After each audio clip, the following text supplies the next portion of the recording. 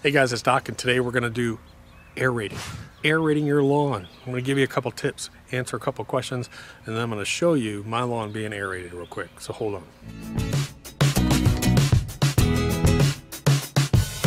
Hey guys, every single year I aerate myself, but this year I decided to have a crew come out and do it because they're also gonna do a little bit of top dressing and leveling on my lawn. So I figured I ain't renting that thing.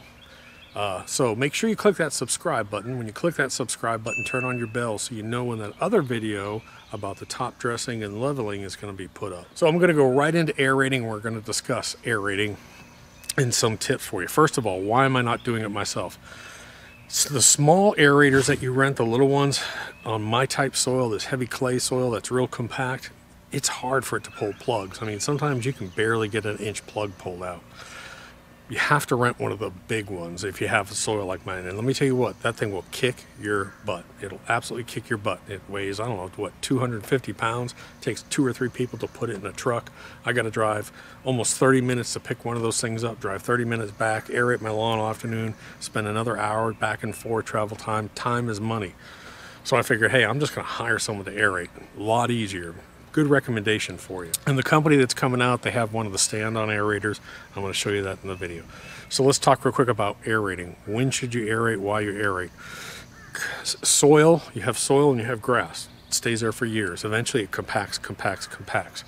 Lawnmowers, traffic, everything else, clay soils, you want to open it up. It's the same reason why, uh, why farmers till their field every year. Why is that? Open it up, loosen the soil, let oxygen, let moisture, let nutrients get into it, and let the roots grow better. It's the same kind of reason why we aerate the lawn. I mean, we can't go out and till our lawns. I mean, guess we could if you want to resod the whole thing, but you can't do it. That's why we aerate. So real quick, some pointers. What time of the year to aerate? You want to aerate when Bermuda grass is growing rapidly. So that's going to be probably late spring, early summer. If you want to do it twice a year, you're going to do it late spring and then uh, going into late summer, early fall when it cools down. You can do it twice a year.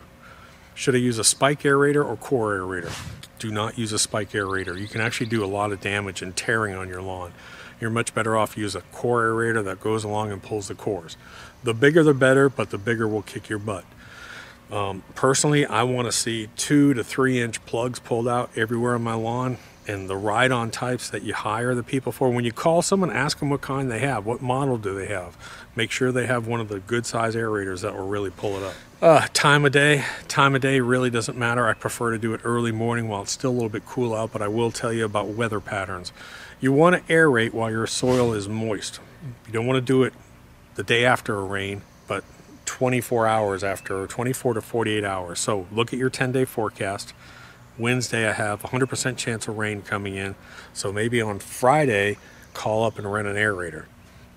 I like to let my lawn, I want my lawn to be a little bit moist, but I want it to set up. I don't want to be a mud puddle, but I do want it moist. Everything works better on, on aeration if it's a little bit moist, so remember that.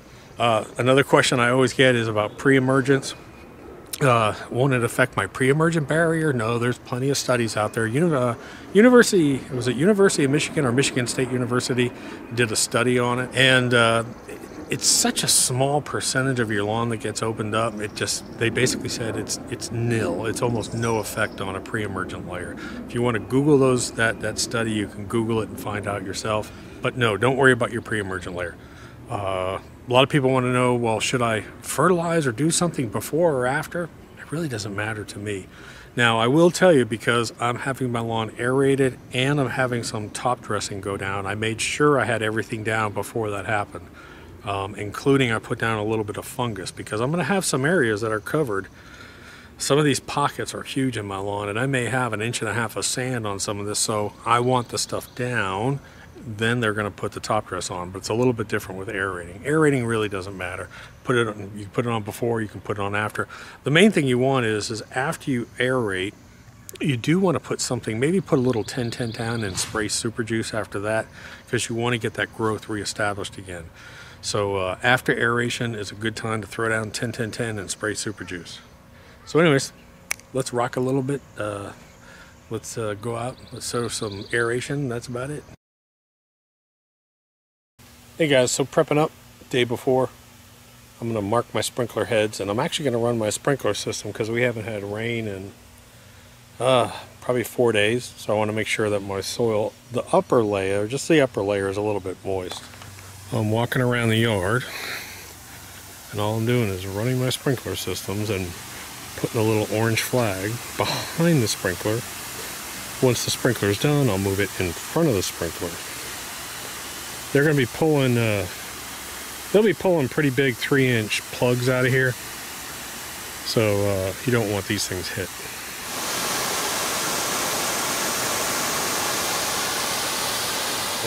Doc has sweat on his brow.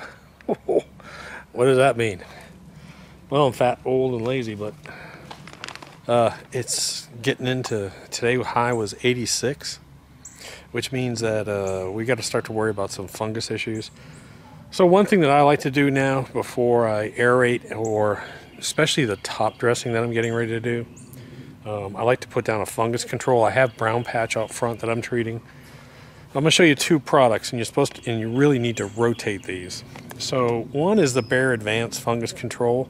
Now I put this out in a spray and in a granule sometimes. I do both. And then the other one, which I've got two bags of Heritage in the garage, which I'm saving for about a month from now. I'll retreat in about a month from now for Heritage because this neighborhood has a ton of diseases. Dollar spot is horrible in this neighborhood. Now this is why I use this on my front especially because I don't think Heritage covers dollar spot. It'll cover everything else, but it's not dollar spot's not listed. So uh, I'll put links to both this and the Heritage that I use uh, on the page in the description. But as you can see, I just did the whole lawn. Now this, the sun is down, as you can see. The sun is starting to set. This is the perfect time. Temperature drops about 10, 15 degrees. I'm not doing it in the hot sun. I double cross cut the front. I probably should show you that here in a minute. Um, I put all my flags in for my sprinkler head, so I'm pretty well prepared. Tell me what you have to go and drive me so crazy. Now I'm feeling lost without you, and I just can't be without you, baby. Want you all night long, want you all night long. Tell me what you have to go and drive me so crazy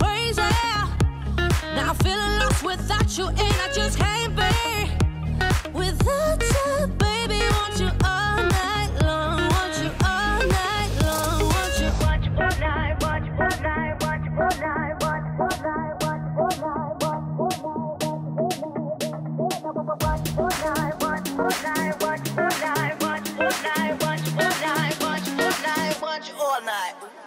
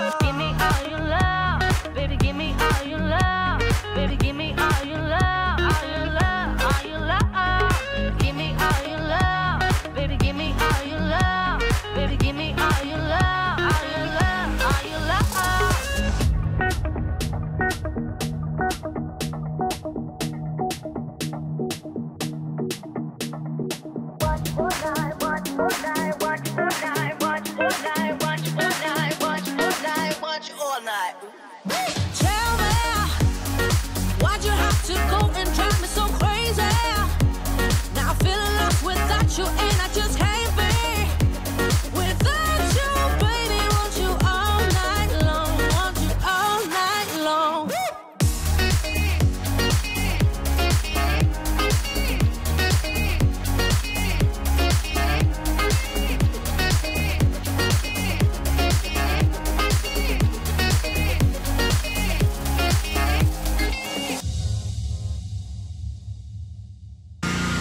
one thing I wanted to show you about, I want to talk about aerating and why I always get the bigger machine is because you just don't have the issues with areas with non-plugs. I mean, look at the size of these plugs here. I mean, all these plugs are good sized plugs. I mean, it's just a plug field out here. And he's just zipping right along. So the right machine for aerating, I think, is key. If you get the little small aerators, it's really kind of tough. These big ride-on aerators are the way to go. Uh, the one I used last year that I showed you, man, that'll beat you up. That is a hard day of work. My butt is worn out. it wasn't just aerating. We did a top dressing and then I manually raked a lot of stuff in. I'm worn out. The final question that everyone's going to ask is they're going to ask about do I leave the plugs on the ground and do I fertilize? So, do I leave the plugs on the ground? There's very little nutritional value to leaving the plugs on, but yes, you can leave them on, let them dry for 24 hours, and set your mower on low, and then just cut them up real quick. Um, there really is no way to kind of pick them up. If I could pick them up, I would. And the reason being is if you ever set a brick on Bermuda grass, what happens? You get a yellow spot. The same thing, when you leave a plug on Bermuda grass, you're covering up the Bermuda grass from the sun, and that little spot will actually turn yellow. If you want to add, return nutrients to your ground, add some fertilizer.